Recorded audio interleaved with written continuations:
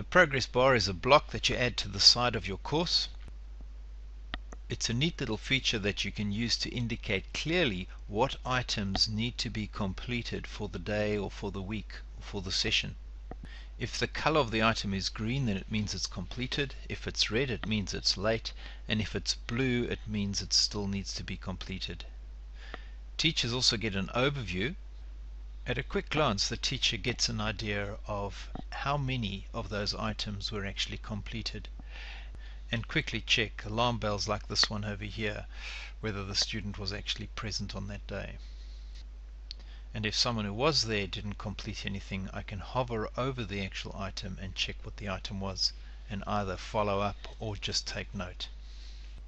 But I think the best feature of this is that students can clearly see how far they've got to go. To add one of these, you just turn your editing on, then you go down to the bottom left and click Add a Block, Progress Bar. It will then appear in the bottom left. Then you set it up using the little pen and basically go through each item that you want to do in that lesson.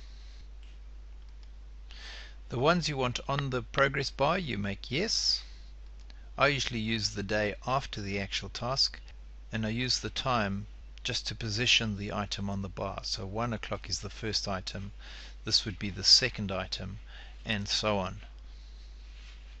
The type of action will depend on the activity.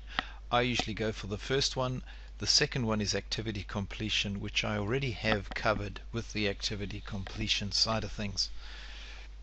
This I see as just a quick check on progress.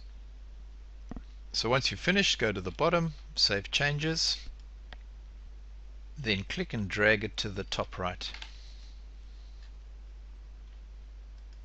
So I can see I personally have already finished three of these and I've still got one to do.